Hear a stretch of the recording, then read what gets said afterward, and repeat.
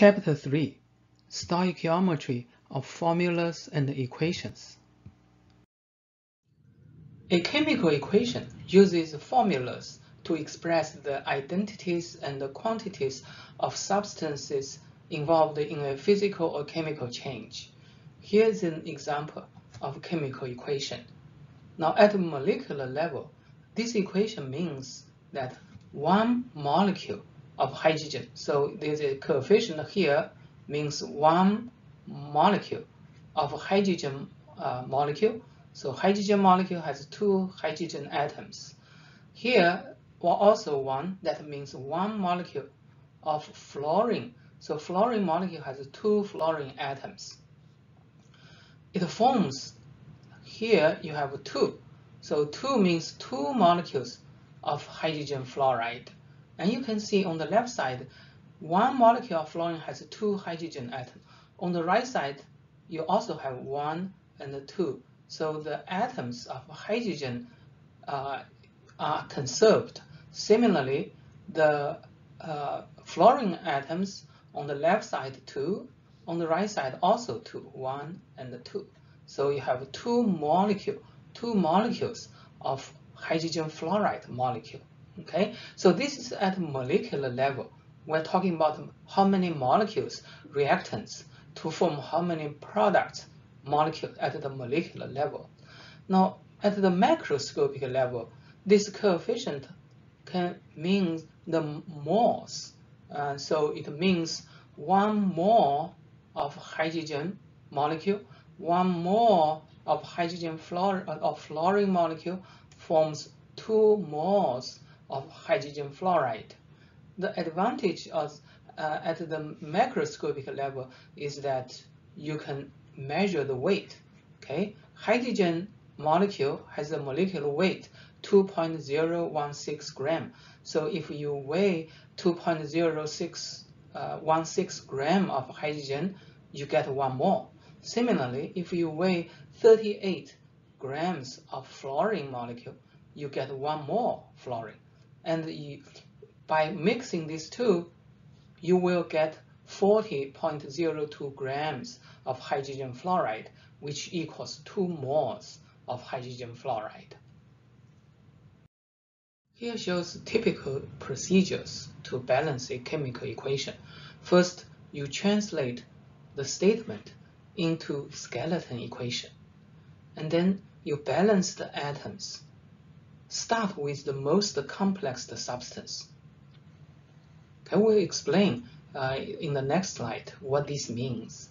And then you adjust the coefficient so that uh, it only contains the smallest whole number of coefficients. And then you check uh, to see if the equation is balanced.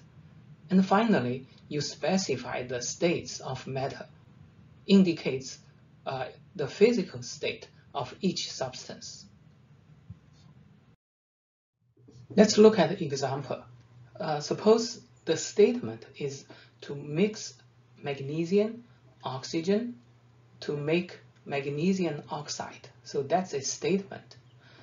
And you can translate this statement to a skeleton equation that is magnesium plus oxygen forms magnesium oxide. So that's a skeleton uh, equation that is not balanced yet. So next we balance all the atoms. We start with the most complex molecule. So here the most complex formula is magnesium oxide because this formula contains two different types of uh, element. Now magnesium only one type of atom. Oxygen contains two atoms but they are the same. So magnesium oxide is the most complex one. And we put one in front of it. Okay, so that's magnesium oxide. And then we look at the left side. Well, to balance magnesium, we have to put one also here. So magnesium atom is balanced. Now what about oxygen? Well, magnesium oxide has only one oxygen, but the oxygen molecule has two. So we need to times one half. Okay, so this equation balanced all atoms. However, the equation contains uh, half, which is not a whole number. So next we need to adjust the coefficient so that it only contains the smallest whole number. To do that, we need to times 2. So half times 2 will give you a whole number, but when you times 2 for oxygen, you must multiply 2 all, on all the atoms. So here you have times 2 on magnesium, and magnesium oxide you also times 2. So the new balanced equation will be 2 magnesium plus oxygen. So 1, yeah, 1 oxygen forms 2 magnesium oxide. Now coefficient 1, you can omit that, don't write it. Okay, last step, state the physical state. So magnesium is a solid, oxygen is a gas phase, magnesium oxide is also a solid. And that is a complete uh, balanced chemical equation. Here shows a three-level view of the reaction we just balanced. Uh, two magnesium, one oxygen forms two magnesium oxide, solid. So at the molecular level, uh, this is magnesium atom, so two of them, and uh, one oxygen molecule, which also contains two oxygen atoms. When they combine, uh, they forms magnesium oxide, magnesium oxide. So two formulas. So at the macroscopic level, uh, if you have a, a bar of magnesium metal, which may contain uh, two moles of magnesium atoms, and if you have oxygen gas inside uh, one mole, okay, oxygen molecules, and when they react, uh, the reaction is very violent. You can see it emit light uh, and heat, okay, and eventually it give you white powder, which contains two moles of magnesium oxide. Uh, sample problem 3.12. Within the cylinders of a car's engine, the hydrocarbon octane, one of many components of gasoline, mixes with oxygen from the air and burns to form carbon dioxide and water vapor. Write the balanced equation for this reaction. So first, let's identify the reactants and the products. The reactants are octane and uh, oxygen. Okay, they mix together. And the products uh, are carbon dioxide and water. Okay, so based on uh, these statements, we can write a, a skeleton equation, and that is octane, oxygen, carbon dioxide, and water molecules. Next, we want to balance all the atoms. To do that, we start with the most complex molecule. So in this case, it's the octane, because this molecule contains 8 carbon, 18 hydrogens. And so that's the most com complex among all these four molecules. So we put one in front of it, okay?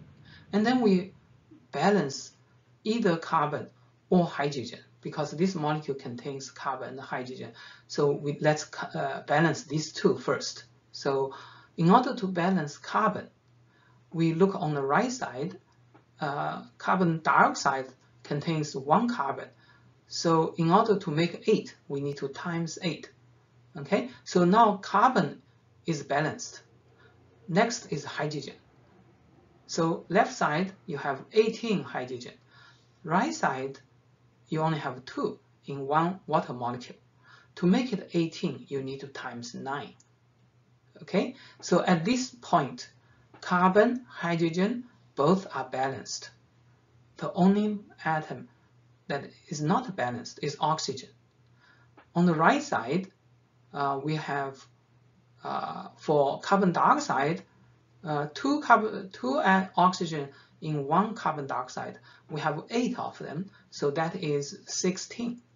Uh, 16 atom, oxygen atoms in carbon dioxide. In water, you have one oxygen, but nine of them, so you have nine oxygens uh, in water molecules. So the total oxygen on the right side is 16 plus 9 give you 25. So that's the oxygen on the right side. On the left side, left side, we have an oxygen molecule that contains two atoms, oxygen atoms. To make it 25, we need to multiply by 25 divided by 2.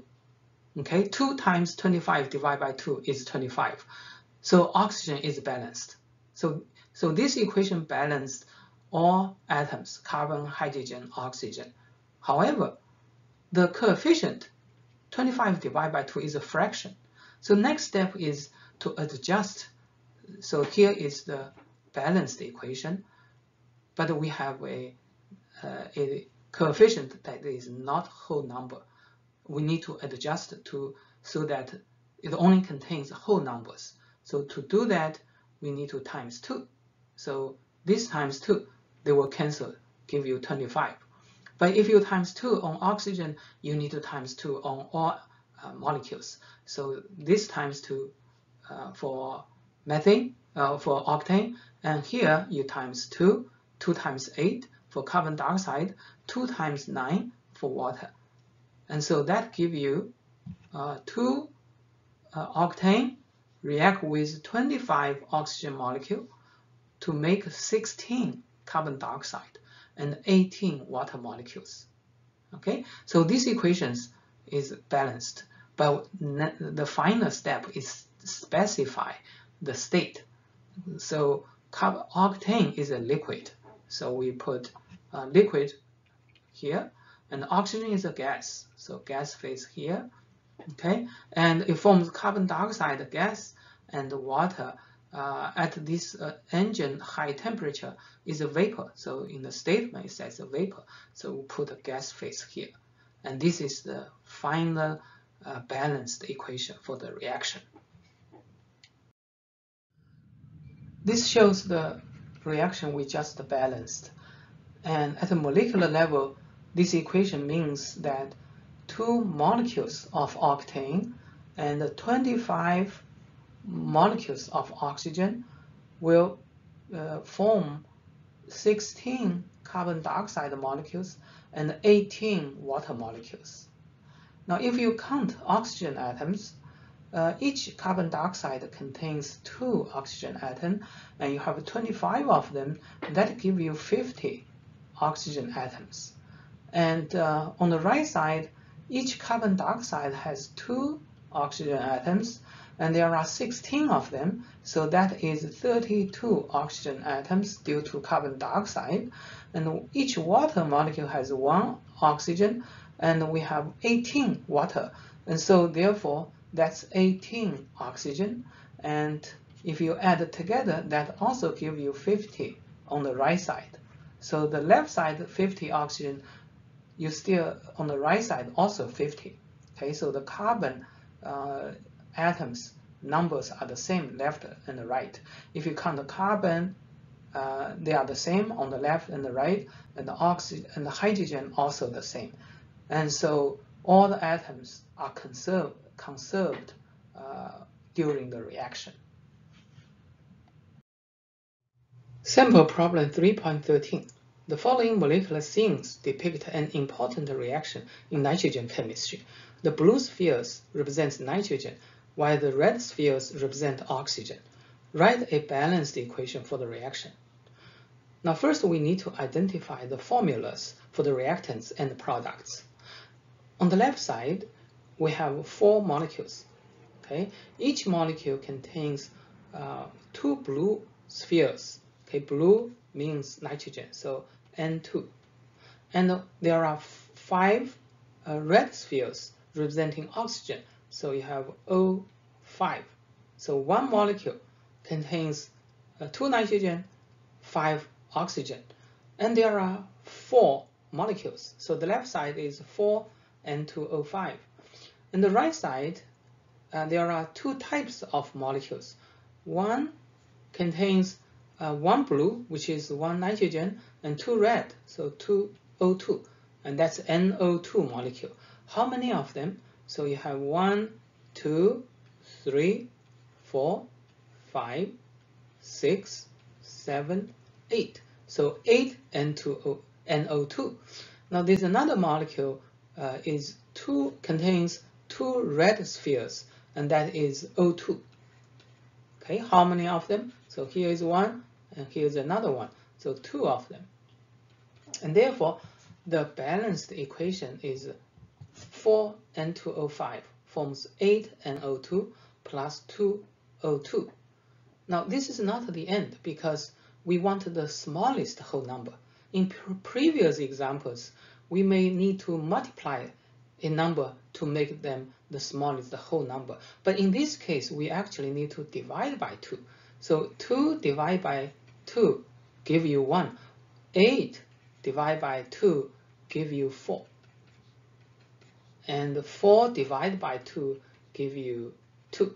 So the uh, final equation should be 2 N2O5, 4 NO2 plus 1 oxygen. So that is a balanced equation with the smallest whole numbers. In a balanced equation, the amounts of substance are stoichiometrically equivalent to each other, which means that a specific amount of one substance is formed, flown, produces, or reacts with a specific amount of the other. The quantitative relationships are expressed as stoichiometrically equivalent molar ratios that we use as a conversion factors to calculate the amounts. Let's use propane combustion reaction as an example.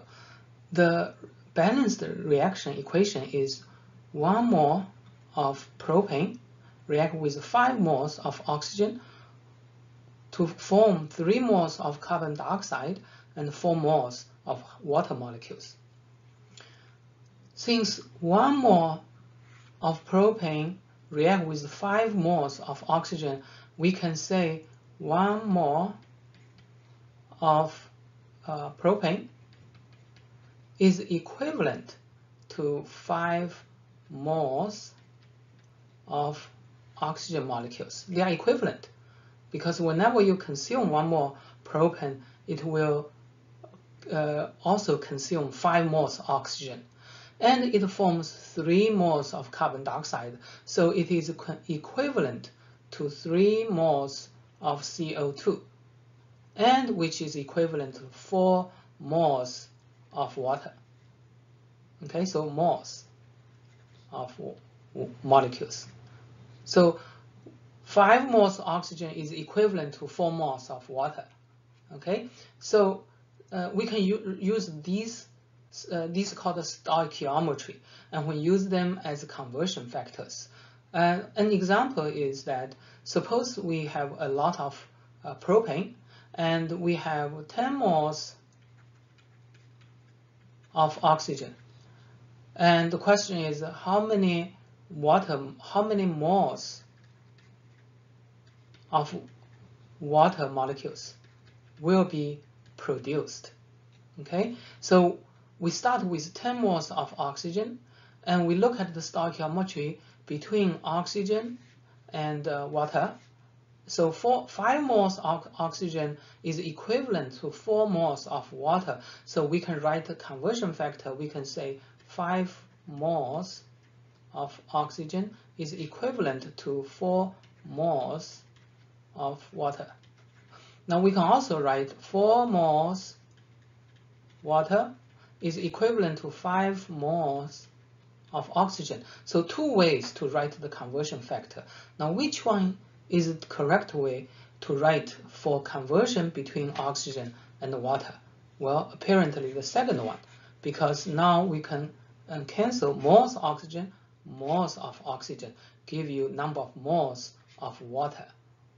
So 10, so this times uh, this conversion factor, that give you 10 times 4 divided by 5 moles of water, okay? And that give you 8. So the answer is 8 moles of water.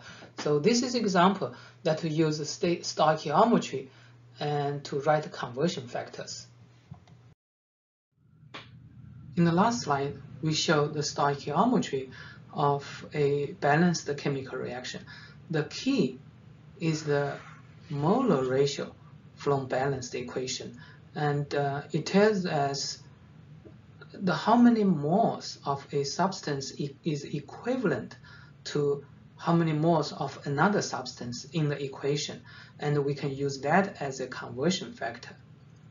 What if we know the grams of a substance, for example, the reactants, and we want to find out the grams of the product? Well, remember, uh, there's no stoichiometry between grams, it's the moles. And therefore, first step, you need to convert grams to moles. Okay, reactants, how many moles?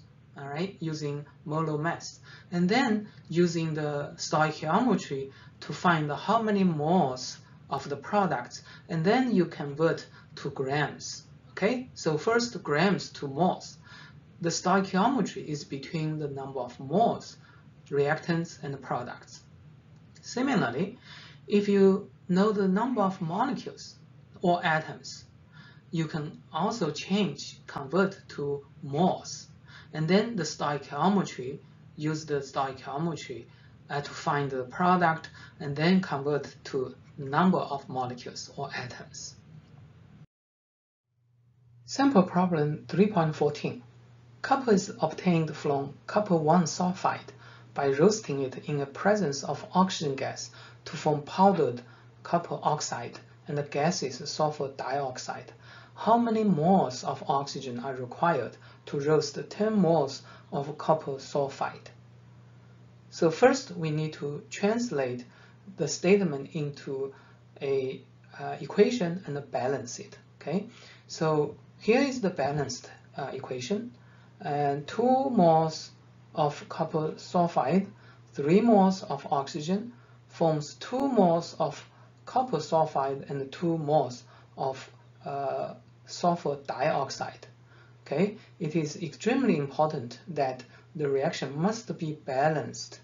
Uh, otherwise, uh, you, the stoichiometry will not be correct. So uh, looking at the relationship between copper sulfide and oxygen, we can see 2 moles copper sulfide is equivalent to 3 moles of oxygen, and that can be written as a conversion factor.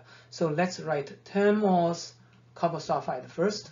Okay, we want to change to oxygen, convert to oxygen, so write a conversion factor, and that is 2 moles copper sulfide is equivalent to 3 moles of oxygen, and this way moles of copper sulfide cancel each other, and that give you moles of oxygen.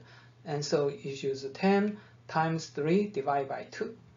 So that give you 15 moles of oxygen. Sample problem 3.15.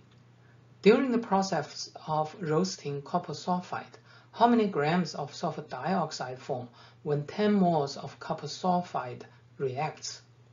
So first, let's write the balanced equation. Okay, you have seen this already in the last question. And uh, in this question, the given is 10 moles of co copper sulfide, that's the reactants. And the question is how many grams of the product, sulfur dioxide. Now remember, the stoichiometry is between the moles of copper sulfide and sulfur dioxide. So 2 moles copper sulfide is equivalent to 2 moles of sulfur dioxide. Based on this stoichiometry, we can write a conversion factor. So we can convert 10 moles copper sulfide to how many moles of sulfur dioxide. And then we can convert moles to grams. So here is the first step. We start with 10 moles of copper sulfide. We write the conversion factor between copper sulfide and sulfur dioxide. So cancel the moles of copper sulfide. We get moles of sulfur dioxide. To convert moles to grams, we use molar mass. So one mole sulfur di uh, dioxide is equivalent to 64.07 grams sulfur dioxide. So moles, moles cancel, give you grams of the product. Sample problem 3.16. During the roasting of copper sulfide, how many kilograms of oxygen are required to form 2.86 grams of copper oxide. So first, let's look at the reaction again. So this is the balanced reaction. And this time, what is given is a kilogram of copper oxide. So this one in kilogram, this is given. And the question is, how many kilogram of oxygen is required? Again, it's kilogram. So compare this one with last two. And this time is the given and ask are both mass. Okay, so as we already know, the stoichiometry is about moles, not about grams or kilograms. So according to stoichiometry, 2 moles of copper oxide is equivalent to 3 moles of oxygen, and that's the stoichiometry. So we need to convert grams to moles. And from moles, from stoichiometry, we can find moles of oxygen. And then when we have moles of oxygen, then we can change to kilograms of oxygen. So first, let's convert to moles. So we start with 2.86 kilogram of copper oxide. We first change to grams. So one kilogram, 1,000 gram. All right, so kilogram cancel, give you grams. And next, we need to change to moles. We use molar mass. So molar mass is one mole copper oxide, 143.10 gram copper oxide. So gram, gram cancel, give you moles.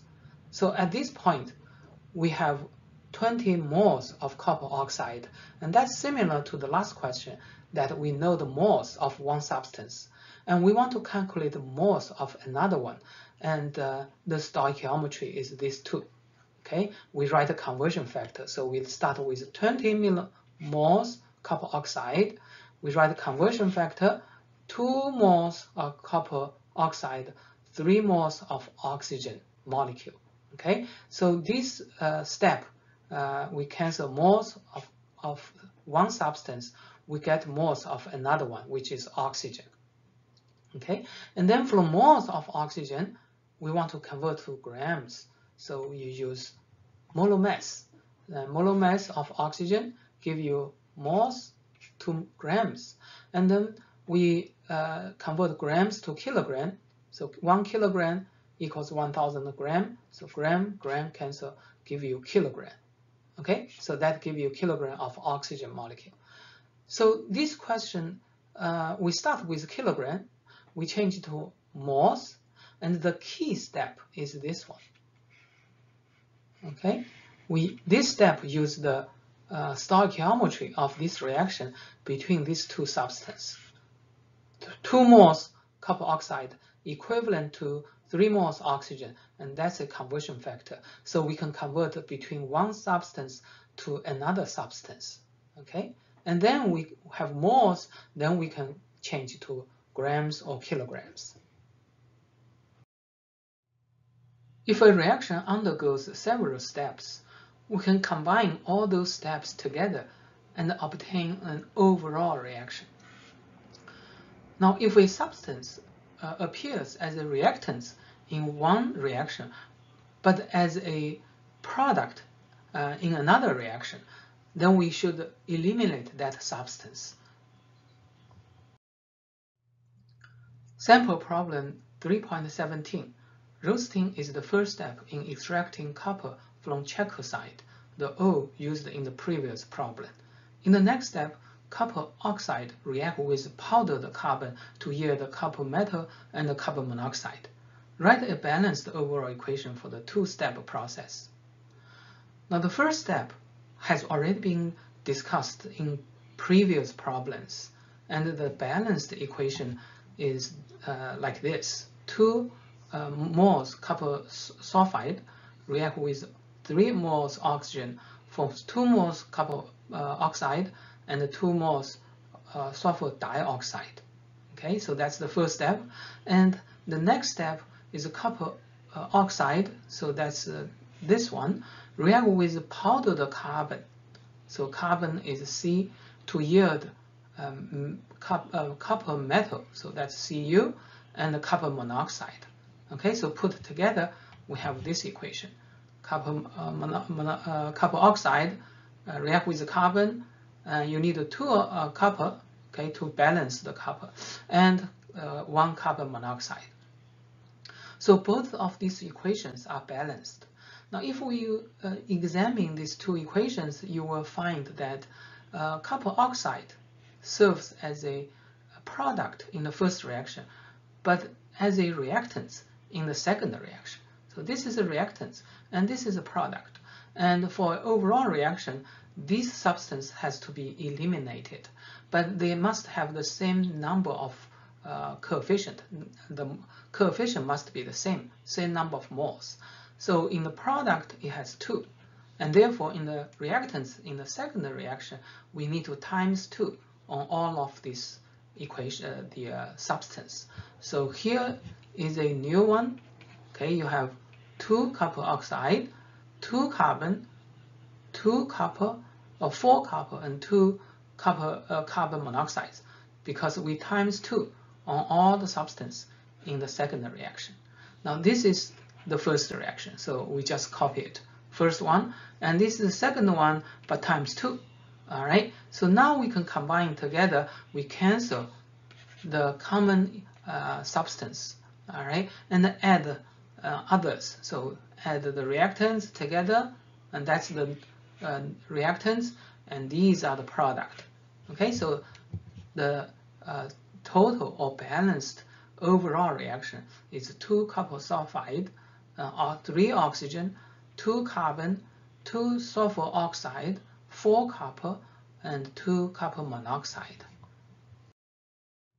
So far, we have assumed that reactants are present in the correct amounts to react completely.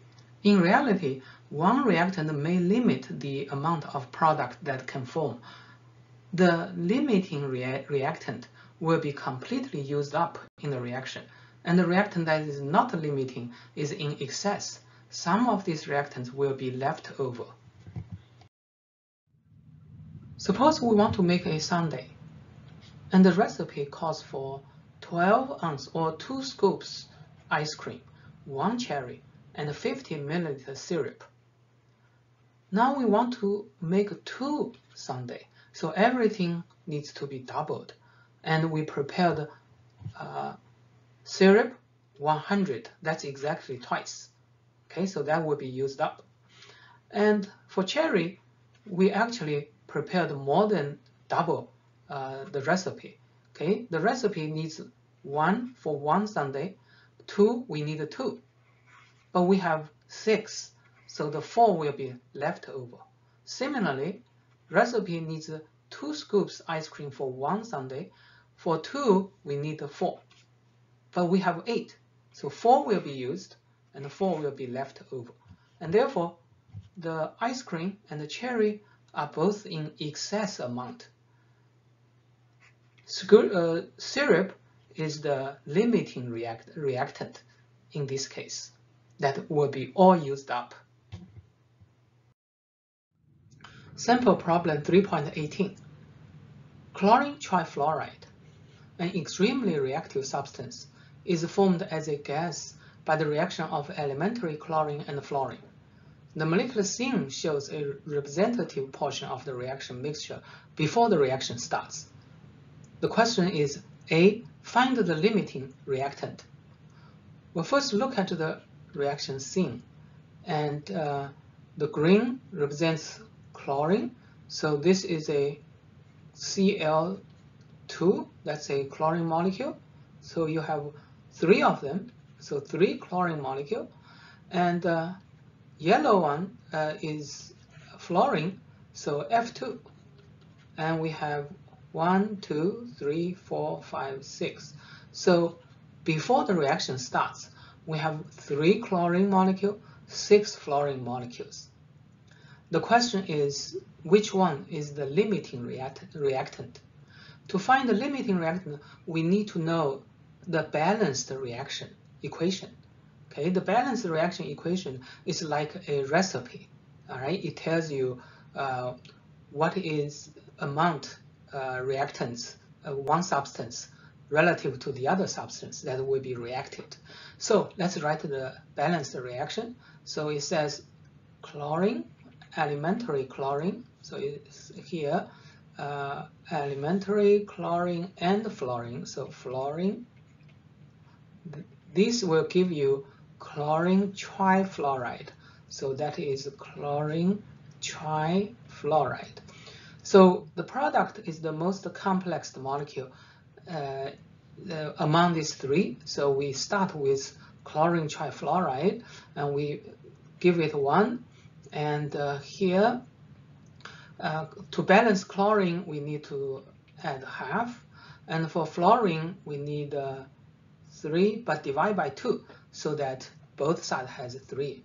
Okay, and now uh, we need to multiply a number so that it gives you the smallest whole number. So the number is 2. So you times 2 here times 2 times 2 and uh, the balanced equation will be chlorine gas phase fluorine we have three of them note 3 over 2 times 2 is 3 so 3 fluorine give you 2 chlorine trifluoride all right, so that's the balanced uh, reaction. So both are, all these are gas phase. And we have this recipe. Now we can determine which one is the limiting reactant.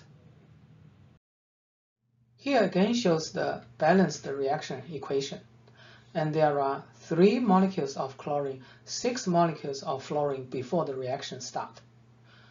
To find the limiting reactant, uh, a useful strategy is to find the number of molecules of product that would form from given number of molecules of each reactant. So we look look uh, look at the chlorine. Suppose all chlorine react, three molecules chlorine react, how, how many molecules of product will form? And then we compare with the product formed by six molecules of fluorine. And then we can determine the limiting reactant. So first, let, let's look at the chlorine. All right, and we look at the chemical reaction uh, stoichiometry. One chlorine is equivalent to two uh, chlorine trifluoride. So that's a uh, conversion factor. So we start with three molecules of chlorine and one molecule of chlorine, two molecules of chlorine trifluoride. And we cancel the chlorine we get molecules of chlorine trifluoride. And that means that if three molecules of chlorine all react, then we will make six molecules of chlorine trifluoride. Similarly, let's calculate fluorine molecule. Okay, how many product will be generated by these uh, six molecules of fluorine? So six molecule fluorine, and we also look at the reaction equation, three fluorine e equivalent to 2 chlorine trifluoride. So we write this conversion factor and uh, the molecule of fluorine cancel, give you chlorine trifluoride. And the answer is 4.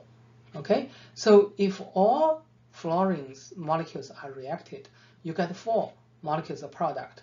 If all chlorine molecules are reacted, you get more than 4, you get 6. And apparently this will be the limiting reagent. So chlorine, fluorine molecule will be the limiting rate. It produces less product than the other one. Okay, so the answer is fluorine uh, is the limiting reactant. Question B asks you to write a reaction table for the process. As usual, you first write the balanced reaction equation, and then you write the initial concentration here, chlorine, uh, three molecules, fluorine, six molecules before the reaction. And then how do you determine the change of the molecules? Well, this is determined by the limiting reactant. Okay, because that's the one that will be all consumed. The other one will be have left over. Okay, so to uh, we already find out fluorine is the limiting reactant and therefore the change must be negative 6 to consume all of them. Now how do you determine chlorine? We look at the equation, stoichiometry, uh, 1 chlorine equivalent to 3 fluorine. And so uh, to find the chlorine, you need to divide by 3. So 6 divided by 3 is 2. Okay, you can also write the conversion factor. So 6, you consume 6 fluorine. Okay, and the stoichiometry is uh, 3 uh, fluorine. Okay, 3 fluorine, 1 chlorine, 1 chlorine. So fluorine cancel, give you 6 divided by 3 chlorine, and that's 2 so negative 2. Similarly, you can determine the product. Again, you look at the conversion factor 3 and 2. So 3, uh, 6, you start with 6 fluorine. Okay, that's how much consumed. Times conversion factor here is 6 fluorine is equivalent to 2 chlorine trifluoride. So chlorine, chlorine cancel. All right, so 3 divided by 6 divided by 3 is 2. 2 times 2 is 4. So you get 4. It's positive. And the final will be initial minus uh, change for the reactants. So for fluorine is 0. That's as expected. It's a limiting reactant. And chlorine is 3 minus 2, give you 1 molecule. And the product uh, 0, you start with 0. The change is 4, so give you 4. All right, so that's the reaction table. Now in C, it asks you to draw a representative portion of the mixture after the reaction. Well, after the reaction, if you look at the final, you, you need to draw one molecule of chlorine as a leftover and uh, zero fluorine, fluorine all consumed, and four molecules of chlorine trifluoride. And that should be in the mixture. Sample problem 3.19. In another preparation of chlorine trifluoride, 0.75 moles of chlorine react with 3 moles of fluorine. Find the limiting reactant. Write a reaction table.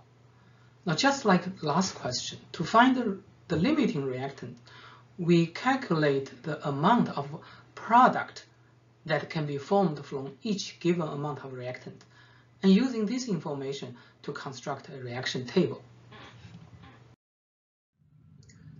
Here again is the balanced reaction equation, and uh, we want to calculate how many product will be formed by each of the reactants. So we start with chlorine. Chlorine given was 0.75 moles, and uh, chlorine and uh, product stoichiometry is 1, 2. 1 chlorine, 2 molecule of chlorine trifluoride. So we write a conversion factor, moles chlorine cancel that give you moles of the product. So 0.75 moles chlorine will generate 1.5 moles of chlorine trifluoride. Similarly, uh, we have 3 moles of fluorine, okay? And the conversion factor is uh, 3 moles of fluorine or 3 molecules of fluorine is equivalent to 2 moles of chlorine trifluoride. So this is the conversion factor.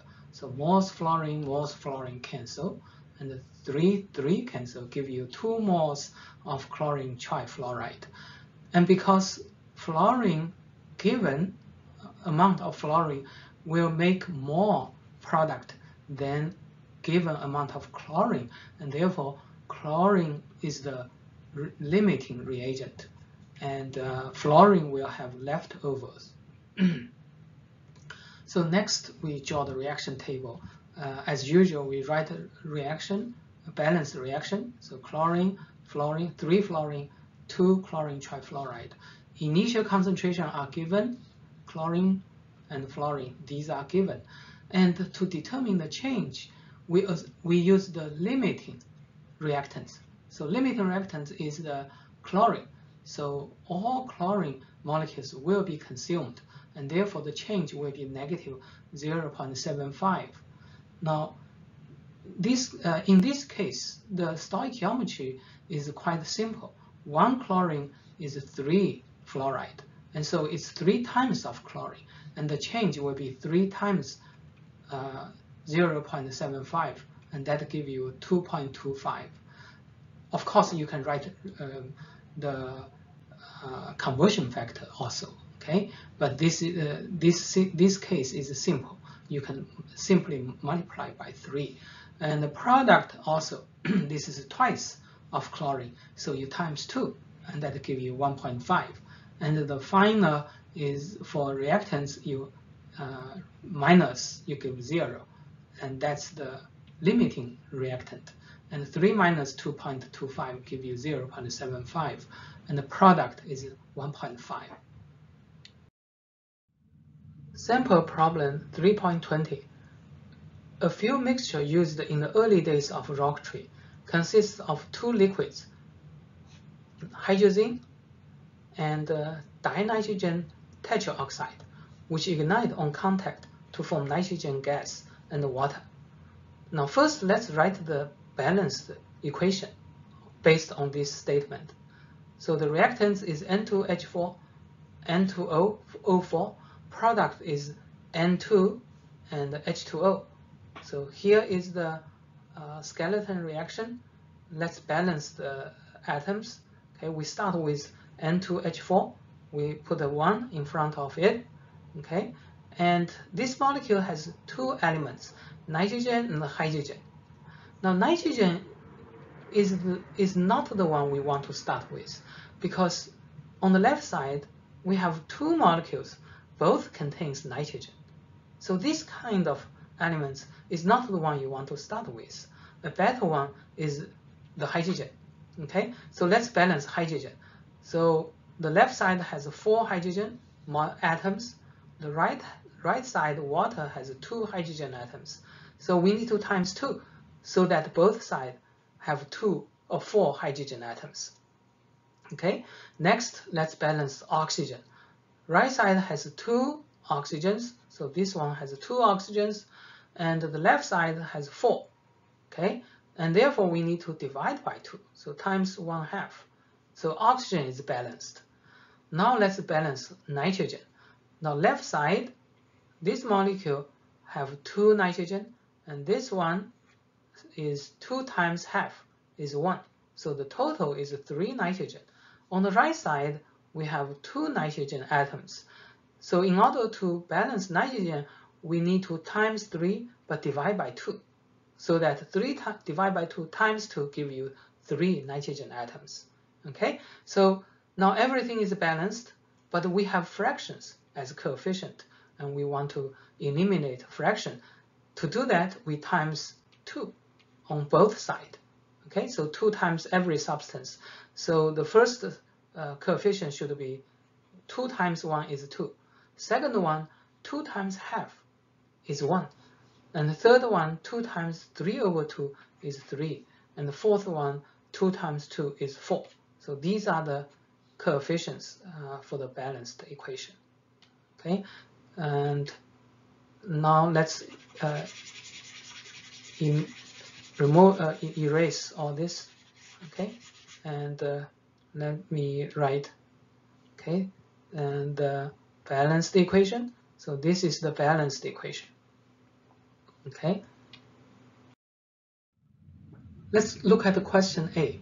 How many grams of nitrogen gas form when these grams of N2H4 and these grams of N2O4 are mixed? So the givens are the grams of these two reactants. So grams, grams. And the question is how many grams of the product. So remember, this uh, reaction equation tells you the stoichiometry based on the number of moles, not based on grams. And therefore, the first step, you need to convert grams to moles. Okay, all of them to moles. All right. Also, because we have two, both reactants are given.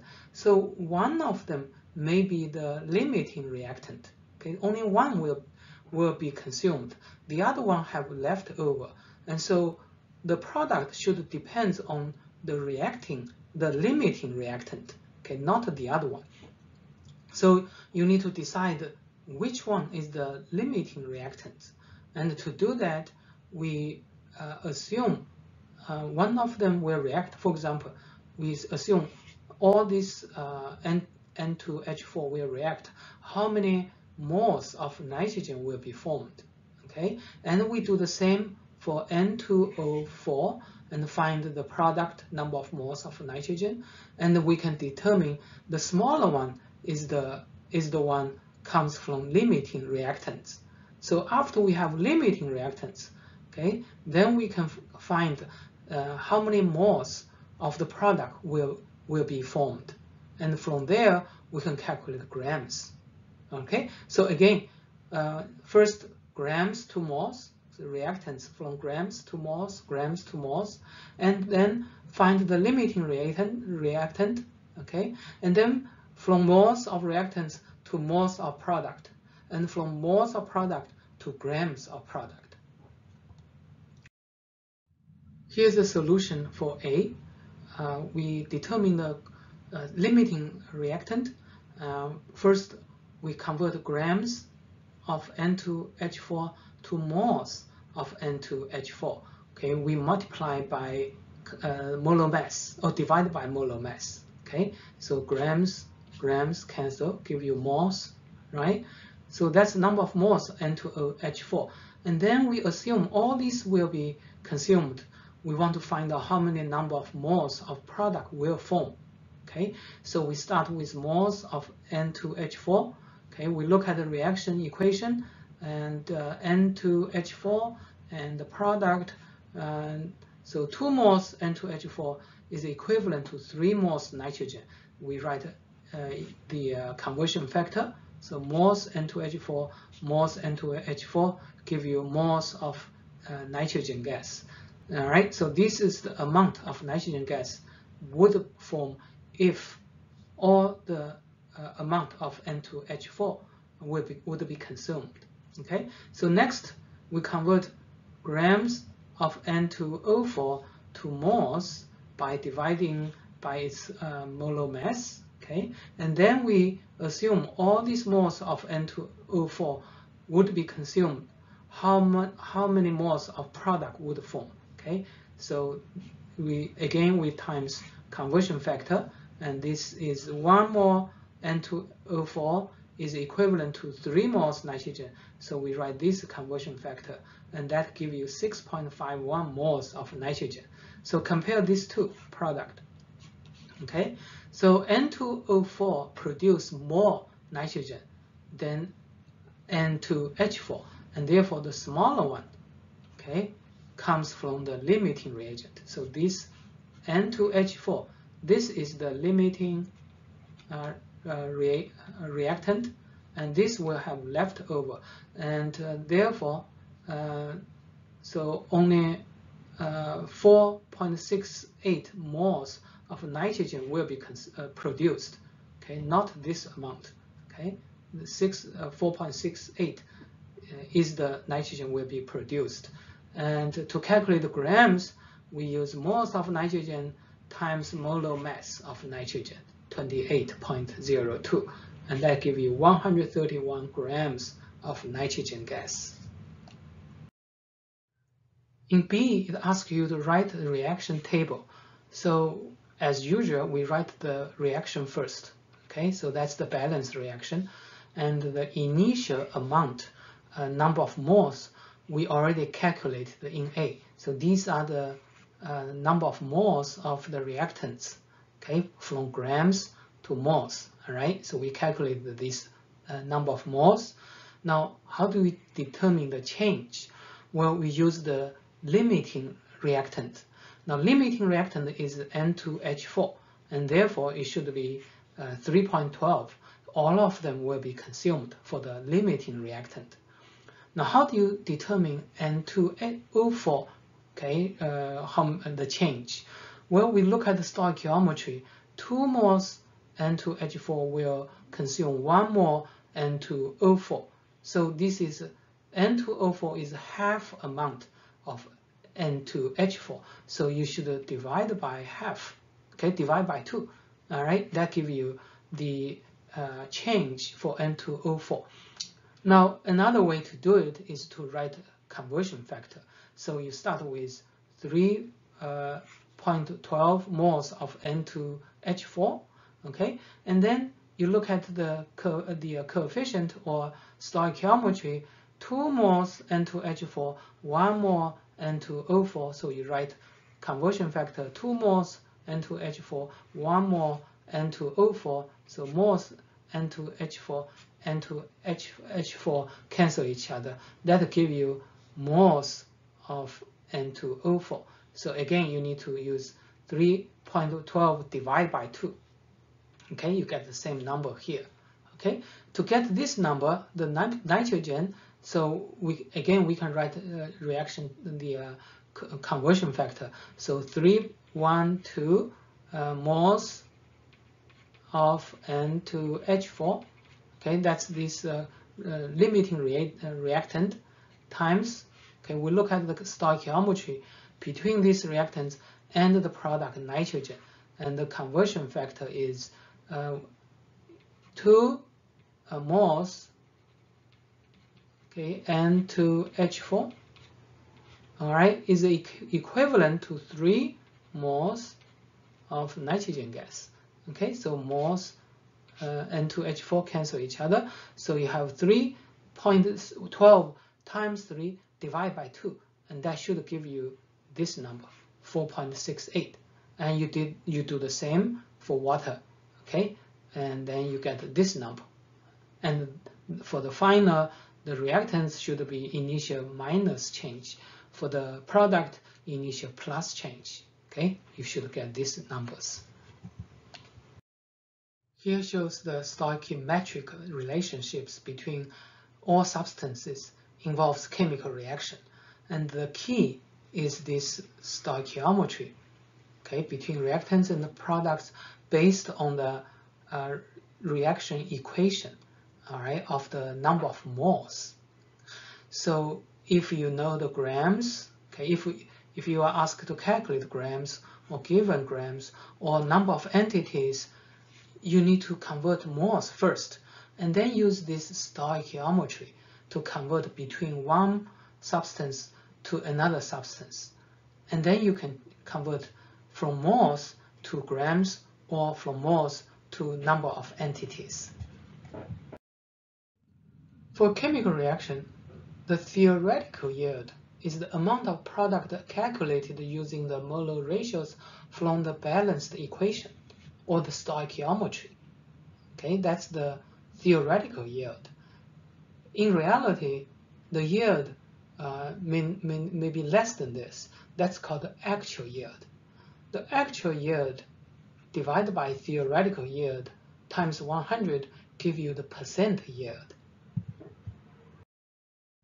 Sample problem 3.21. Silicon carbide is made by reacting sand, which is silicon dioxide, with powdered carbon at high temperature.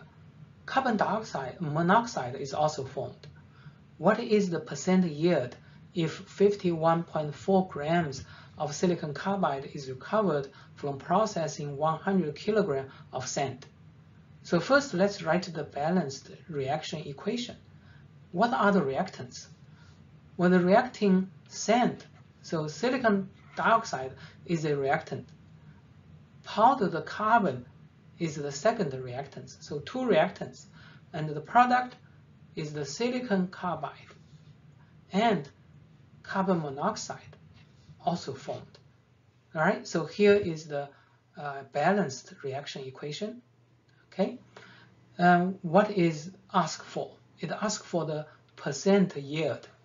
Okay, as we already learned, percent yield is the actual yield divided by theoretical yield. Okay, so what is actual yield? Now actual yield here tells you 51.4 kilogram of silicon carbide. Silicon carbide is the product.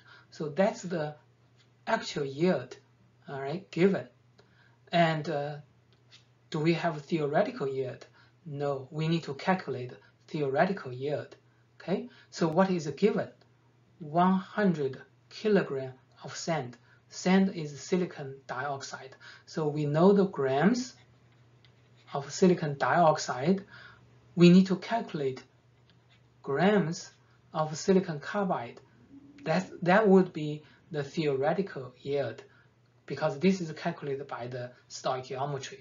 all right, and then use the actual yield divided by theoretical yield, we get the percent yield.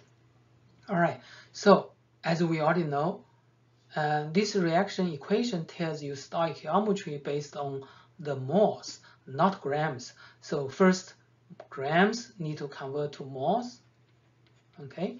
And from moles, based on stoichiometry, we can calculate the moles of silicon carbide. And from moles, we can calculate the grams. All right, so first step, grams to moles of the reactants. And then stoichiometry, calculate the moles of product. And then calculate the grams of the product. Okay, so let me erase this. Okay, so let's do it. Okay, so first, grams, uh, 100 kilogram of silicon, uh, silicon dioxide given, you need to convert to moles. So kilogram, first convert to grams. So one kilogram, 1,000 gram, all right? And then from grams, you, you uh, divide by molar mass. One mole silicon dioxide is 60.09 gram of silicon oxide. So kilogram, kilogram give you gram gram, gram give you moles. And the answer is 1,664 moles silicon dioxide. All right, so we have moles of the reactants. Now we look at the reaction equation, the stoichiometry. One mole silicon dioxide give you one mole of silicon carbide. And therefore, we know that the moles of silicon carbide should be also 1,664 moles of the product. Now we can also start with uh, these moles and use stoichiometry as a conversion factor. All right, you should get the same number. So that's the moles of product. Next, we need to convert to grams.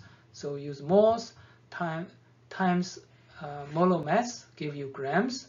Okay, and then you divide by 1,000 that give you kilograms because the actual uh, yield is in kilogram. So you want the unit to be consistent. So you get kilogram. This is the theoretical yield. Okay, so according to the equation, we use the actual uh, yield divided by the theoretical yield times 100. And the answer is 77%. And that is the uh, percent yield.